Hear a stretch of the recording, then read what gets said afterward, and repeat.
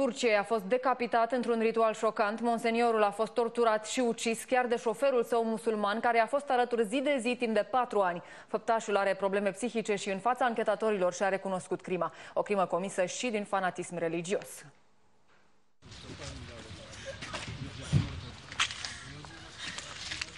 O revelație divină l-a transformat pe șofer în asasin. Murat Altun nu are remușcări. Crede cu tărie că a fost doar unealta lui Allah care a vrut să curețe lumea de rău. Un rău personificat în Luigi Padoveze, șeful Bisericii Romano-Catolice din Turcia. Uciderea monseniorului a fost un ritual. Questo spiega come mai il corpo del povero Monsignor Padovese non ha soltanto subito diversi eh, accoltellamenti, ma è stato appunto decapitato. Questa decapitazione è proprio appunto eh, la decapitazione come un agnello che si porta via il male. Totul pare să indice că asasinul are probleme psihice. Ci sono delle testimonianze che dicono che ehm, l'assassino, eh, dopo che ha ucciso se insieme, se insieme, a qualcuno o da solo, questo ancora non è chiaro, eh, è andato sul tetto della casa a gridare eh, o ucciso o ammazzato il grande Satana eh, all'Akbar. Vaticanul a fost guduit de oribila crimă, dar papa a avut grijă să nu alimenteze un conflict între catolici și musulmani, mai ales că moartea monseniorului Padoveze vine la patru ani după ce un alt episcop catolic a fost ucis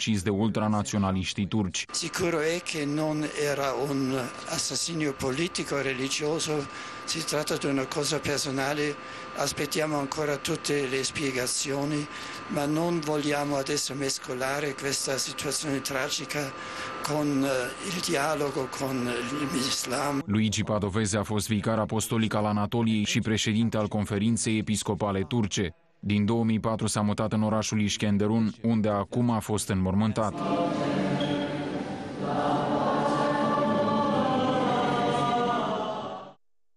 Ne întoarcem acum